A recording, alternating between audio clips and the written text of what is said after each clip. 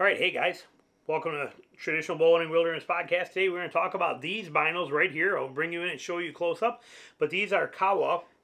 These are Kowa 8.5 by 32s. And uh, they are pretty amazing binoculars. I've been using them for a few days now. And uh, we're going to show you some size comparisons here for it. This is my binoculars I have. Um, but I have these uh, uh, 10 by 42 Swarovskis. These are actually like 28 years old. They were redone by Swarovski about five years ago. Uh, but these are 10 by 42s, giving you a comparison between the two of them so you can see. Okay. And then we have my uh, 7 by 30s. These are Swarovski 7 by 30s. Again, 28 years old. Kind of showing you a size difference there.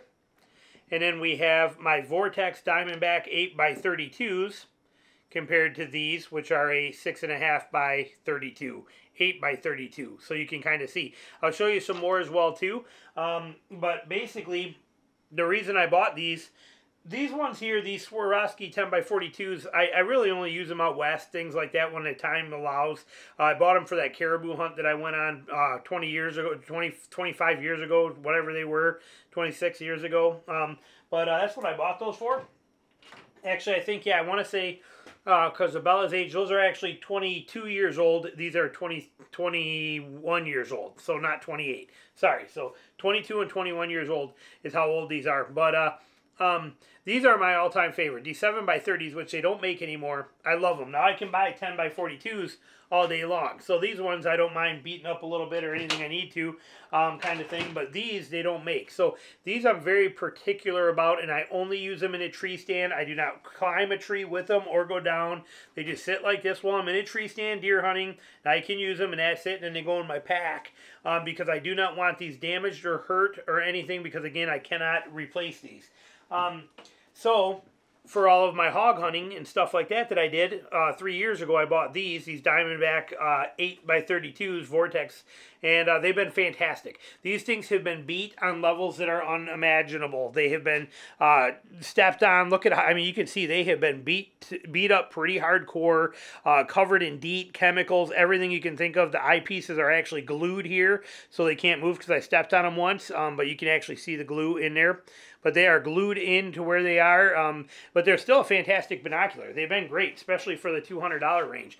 But now that uh, um, with the method of hunting I'm doing, where I'm looking for feed trees, I'm running around during the, the middle of the day um, with just my bow and my binoculars and uh, in my compass in my pocket and my bug spray, and I am scouting and learning where I want to hunt at for that evening and then for the next day um, hunting down feed trees. I need binoculars to be able to identify the stuff in that tree that I'm looking for on a lot of these, and I need binoculars with me. Well, when I'm hunting and my when I'm whitetail hunting, these are the ones that go with me. I'm not taking these and scouting with them all day. Again, chances of beating them up, falling with them, stuff just happening to them. I don't want to deal with that. Um, and I thought, well, it's time for, uh, so I could use these ones. And I thought, well, it's time for a pair of binoculars for in a truck to leave in there all the time. So when I do scout, I can grab them.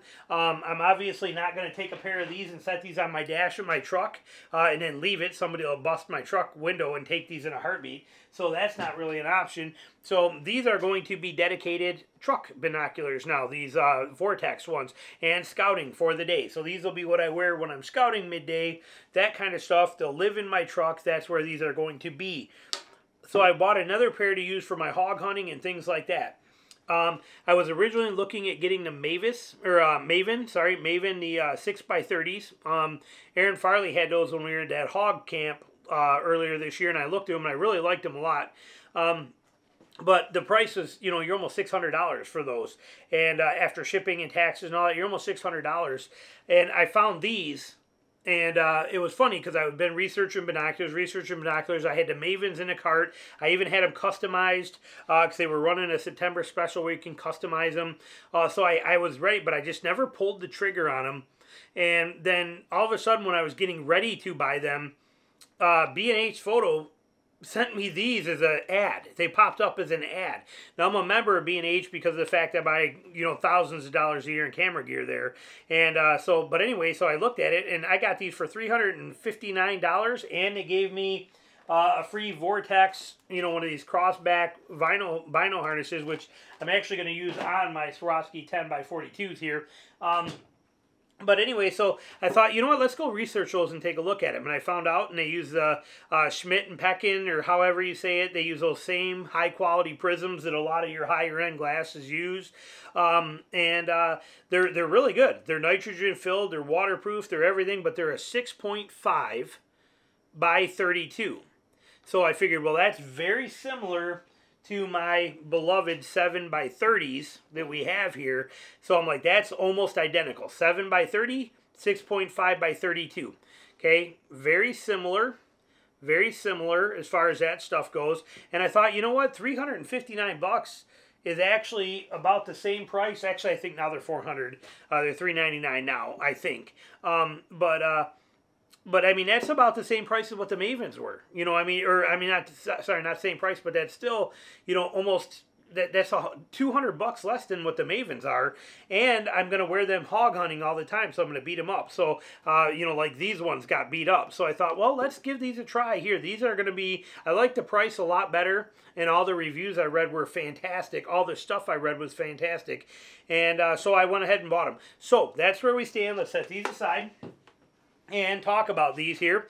So this binocular, um, it is it is very sharp. It is very, very clear, very sharp to look through, very fast and, and legit focus wheel. The only thing about it, now I'm not somebody who cares about all the nitty gritty stuff, even though I'm a photographer and I live my life through a lens. There's a lot of people out there that take things way too far and they get too nitpicky on stuff if your eye can see really good with it and the color rendition is good and everything works good, then they're good. Okay. The rest of the stupid little stuff, as far as like how this is on text, people do these lens tests and all. I, I don't care about any of that. What I can tell you is that these gather low light as good as these do. Without a doubt, these 7x30s, I've been using these in a stand. Um, but these gather incredible low light capabilities. Very on par with these. The centers of these are very on par with these. Okay, as far as the detailness, the sharpness, and all the stuff we're looking for. Color rendition is really good. Um, I don't really care too much about color rendition, even though I'm a photographer. But if color's not exactly perfect, I fix it. Okay, Nikon runs blue, Canon runs a little yellow. Everybody's every lens has got their own little thing. Like I said, people get way too picky, and I get it if you're birding and you're into into that stuff, but we as hunters, that stuff doesn't matter. Okay, um, so for for what we need and what we're going to use it for, flawless. Okay, incredible low light gathering wide field of view. The field of view is huge on these. Okay, these the field of view on this is just massive. Okay, um, you can look the numbers up if you want. Maybe I'll run them in here for you if you want to get all technical, but in, in practical purposes, wide, ultra wide. The only thing you do notice on these is because it is such a wide view, on the very slight on this edge and very slight on this edge, you get a little bit of distortion there, just ever so slight. Um, but again, it is because it is such a wide view. My camera lenses, some of my $3,000, $4,000 camera lenses, they do the same thing. Wider, wider the lens gets, the more fall off you get on the sides. It just is what it is. Um, and these are no different, but the center the ninety percent of this barrel is tack sharp, spotless. You get just that little bit on the edges, which is to be expected, and you can still see through it and still make them work, and they still are perfect. I'm not taking anything away. Any power, low power, or uh, low power binocular like that, that that's that wide is going to have that. So I will take that trade off all day long to be able to see that wide, even though it's just a little out of focus on the outside edge. I'll take it all day. Um, these are absolutely awesome. Very, very nice. And I love the fact that we have multi-steps on here. I'll bring them in and show you. Let's bring you in. So I might come out of focus here a little bit. But so you have detents on these. Okay, so there's all the way down for glasses. Plus it clicks and stops right there on a twist. Clicks and stops right there on a twist where I'm using it. Also goes up one more. So you have four hard locking detents in there, which is really nice. Swarovski doesn't have that. These just twist and you stop them wherever you want along the way, but there's no detent in there. How do I know that one's the same height as that one? When I actually, again, there we go. Uh, you don't see they're not, you know, it's just nice to have that actual um, real detent in those. So that is a nice feature. Uh, you got your um, control right here for your diopter, for so you can tune each barrel together. Um, and uh, they are fantastic glasses. Okay, here they are right there. Close-up detail of these. I will, again, I will put the specs in here for you. Okay, so you will be seeing them roll on here.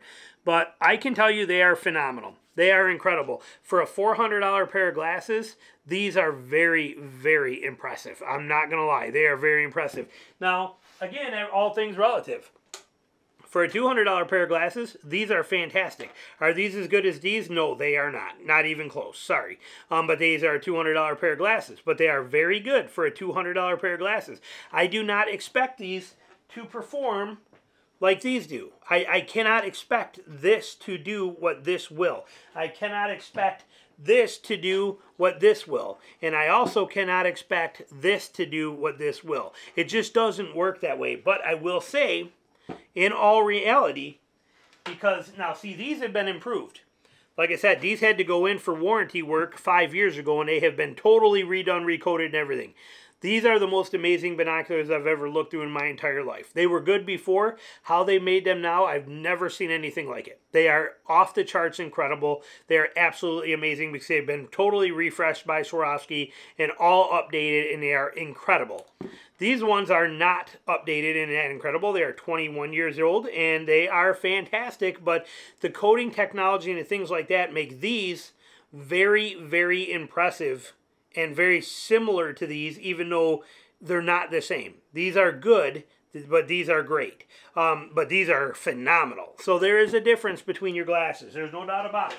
And we're not expecting these to be $1,000 or $2,000 binoculars. What we are expecting them to be is flawless for 400 and they make that happen perfectly. There is no denying that. So this is an incredible binocular. I'm super happy with it. You will see me using it all the time on all my hog hunts. Um, I'm even using it right now in a deer stand. I have been for the last few days because I'm testing it. so I've been out there wearing, using them low light, all stuff. I'll put a couple little clips in here but they are incredible. They they fit well. They are very lightweight. They're uh, you know you can feel just a smidge more weight. I think it's one and a half ounces heavier than this is, um, but you can barely feel the weight. You can see the size. They are just a titch bigger, and these are very so they are very very compact. Okay, very nice, very compact. Um, phenomenal binoculars, just phenomenal, phenomenal binoculars. Now, what I did on here is I just used a piece of paracord, kind of like, you know, I went on the same concept I did here with my hog hunting ones that I had before. But here, you notice I use this little button push clip to adjust on these if I needed to.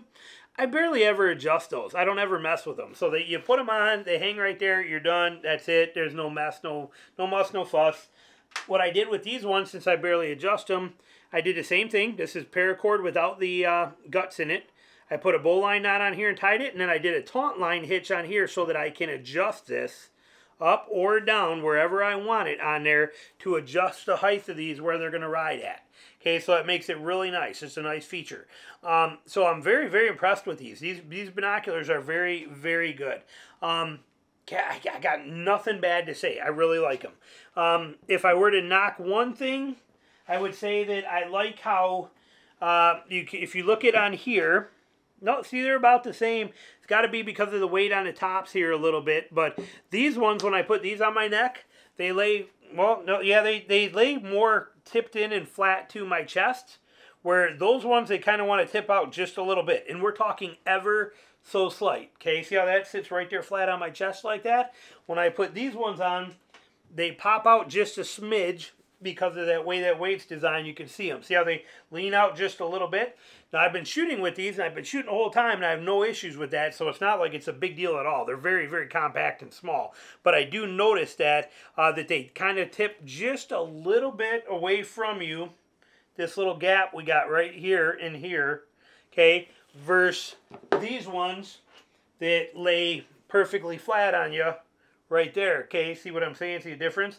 So that's something that, you know, that something that I could knock slightly. I never even paid attention to how these are, but I'm assuming these let sit pretty flat because these have the heads up high. No, see these tip over too. Yeah, see these tip out just like those ones do a little bit also. So, you know, it is what it is. Um, but uh, like I said, these are these are phenomenal, phenomenal binoculars.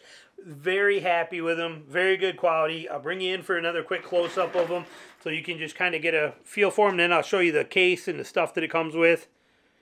This is it right here. Again, four position eye guards on there. Focus distance down to like five feet or something. It's amazing what they can do.